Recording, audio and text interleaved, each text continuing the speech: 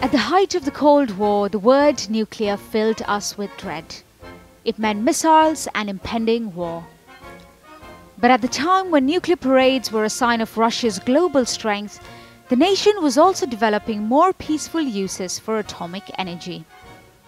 60 years ago, this facility at Obninsk, around 60 miles from Moscow, was the first nuclear power plant to be connected to the electricity grid and it was managed via this control room. And Lev Kochetkov was there at the very beginning. Referred to as a living legend in Russia's nuclear industry, he was one of those people who helped design the power plant. In the very beginning, I was dealing with the calculational support of the core of the first and the world nuclear power plant. Operated by state owned Rosatom, it was built in a record short time, just three and a half years. From the outside, it doesn't look like a nuclear power plant. The exterior is a facade built to hide what's within. Because at the height of the Cold War, Russia wanted to keep its nuclear power station a secret. Uh, All works for the development of the first in the world nuclear power plant were strictly classified. Many of the workers of the institute knew practically nothing about the construction of the power plant. So, where did you say you worked? I had to speak in the terms that I work at an institute which bears the name of Lab V. For around four years, Obninsk was the only nuclear power reactor in the Soviet Union and it led the way for the industry worldwide. The, the world public response to commissioning of this nuclear power plant in a country which was semi, semi destroyed by the World War II was really very huge and very positive.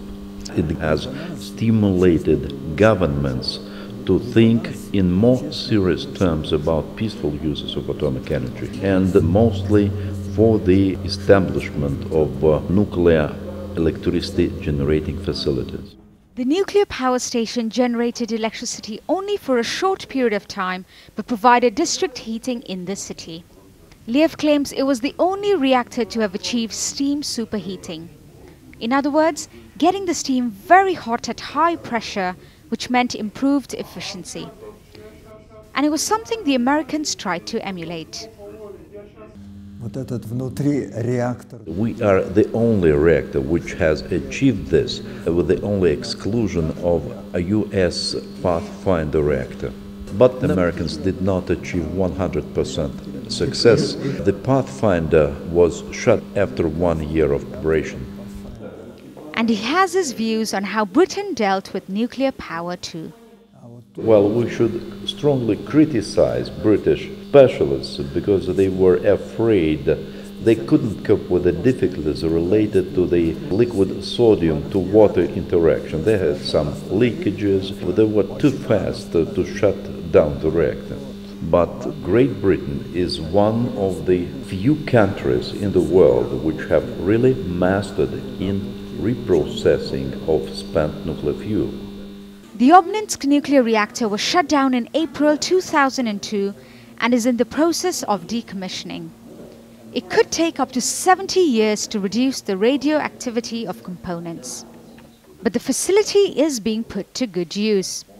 It's being transformed into a museum, attracting thousands of visitors every year. It's also being used as a research facility, and Lev believes nuclear power has a bold future. Organic fuel is quite limited in the globe and it will last for additional some 50 to 100 years. What shall be after that? Well, nuclear energy is the only possible solution.